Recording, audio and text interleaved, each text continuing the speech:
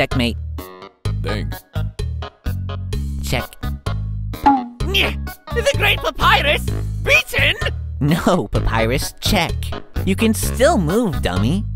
Me, the Great Papyrus, bested in this game I've never played! You're okay, bro. You'll get him next time. Ha! Checkmate! Gotcha, Frisk! You're really good at chess. Where did you learn? Oh, Chara taught me. Toriel and Asgore helped too. We all learned as like a family or whatever. Well, it was more like they all taught me. It's weird though. No matter how hard I practiced or how good I got, I could never beat Chara. I could never even check them.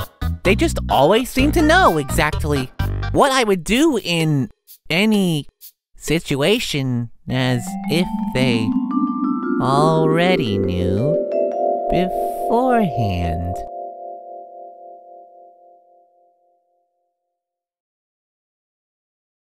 I'll be right back. Flowey, are you?